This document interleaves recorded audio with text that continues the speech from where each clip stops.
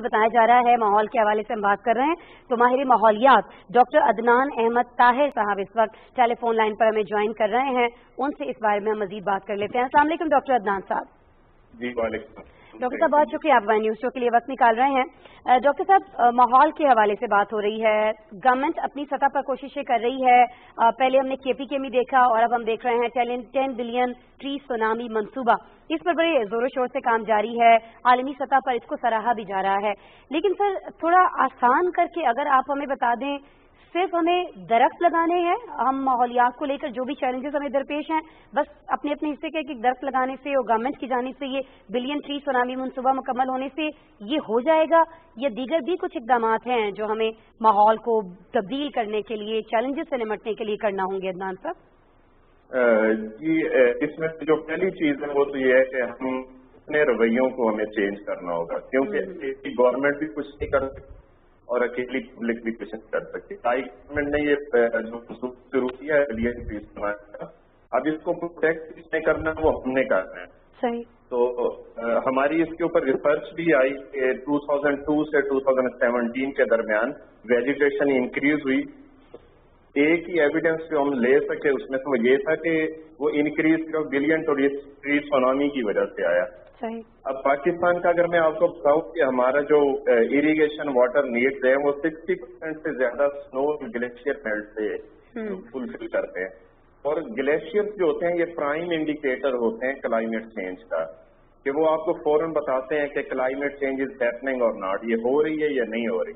तो जितने भी एविडेंस हमें मिल रहे हैं क्लाइमेट चेंज हो रही है, उससे इनिशियली तो पानी ज़्यादा ग्लेशियर पे मेल्ट होने से आएगा, लेकिन इन दी लॉन्ग रन कुछ सालों के बाद हमें फिर पानी की शॉर्टेज का, जो है वो सामना करना पड़ता है इसलिए हमें जो है इस माहौलियाती आलूदगी को भी कम करना होगा और वो इसी तरह से कम हो सकेगी जब हम एक तो एमिशंस कम करेंगे, दूसरा ये है कि हम लोग ज़्यादा से ज़्यादा ट्रीज को प्लांट करेंगे। तो उसके लिए गवर्नमेंट जैसे आपने कहा गवर्नमेंट तो अपनी सतह पर कर रही है गवर्नमेंट लेकिन हमें भी अपने अपने साई जितना हम लोग कर सकते हैं, हम सबको प्लांट्स ट्री भी करने हैं, उनकी प्रोटेक्शन भी करनी है।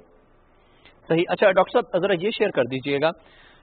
हुकूमत कर रही है अवाम तक इसको इसको पहुंचाना, वो बहुत अरसे से, दहाइयों से चल रहा है। सब एक एक बंदा, बच्चा जानता है कि ये कितना ज़रूरी है दरख्तों का लगाना और दरख्तों का ना काटना, उनकी परवरिश करना, उनकी देखभाल करना, ये सब कुछ चल रहा है।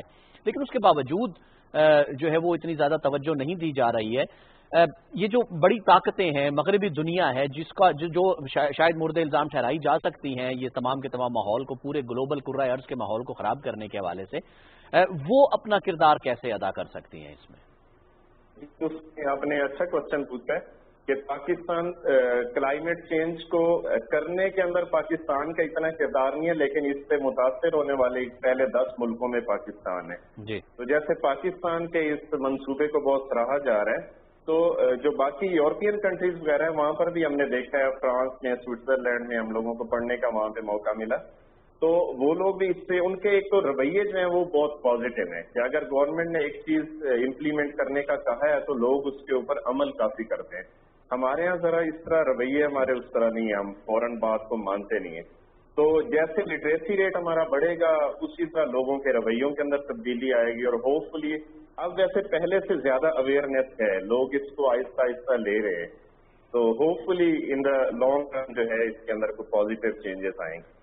सही है। अच्छा दान मतलब जब दरख्त लगाने की बात होती है, हमने देखा कि कराची में खास तौर पर और सिंध के बहुत सारे इलाकों में कुछ ऐसे दरख्त लगा दिए गए थे जिसके बाद ये तलाश आना शुरू हुई रिपोर्ट हुआ, ये सारा मामला कि वहाँ से तो सारे परिंदे ही चले गए। वो जो दरख्त थे, वो ना माहौल के लिए बेहतर थे ना वो दीगर जो हयात है, इंसानी हयात के साथ साथ उसके लिए बेहतर थे और न ही वो ज़मीन में मौजूद पानी के लिए बेहतर थे क्योंकि उन्होंने ज़मीन का सारा पानी ही खत्म कर दिया था।